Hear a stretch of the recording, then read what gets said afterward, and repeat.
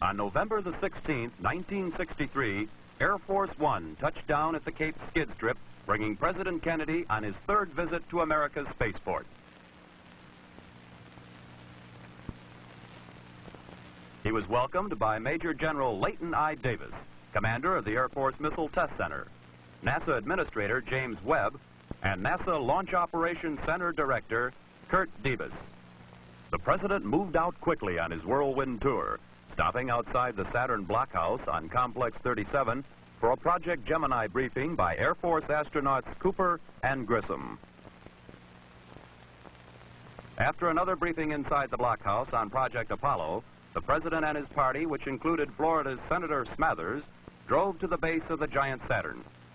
Saturn will carry an American crew to the moon in this decade, a goal established by the young president shortly after he took office in 1961.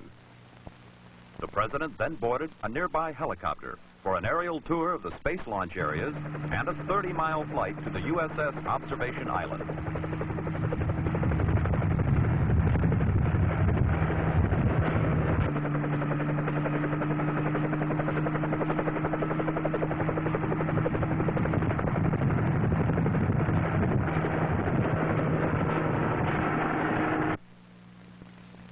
The commander-in-chief was piped aboard.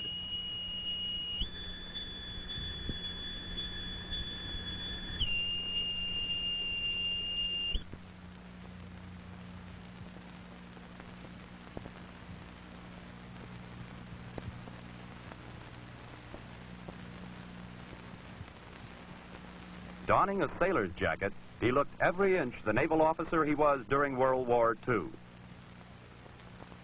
The fleet performed flawlessly, and President Kennedy saw his first Cape missile launch, a Polaris, from the submerged nuclear submarine, the Andrew Jackson.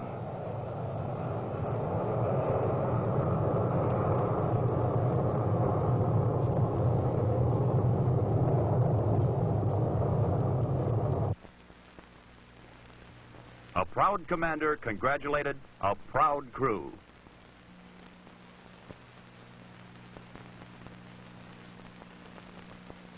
The president returned to the Cape by helicopter. His visit expressed his continuing support for the nation's space program.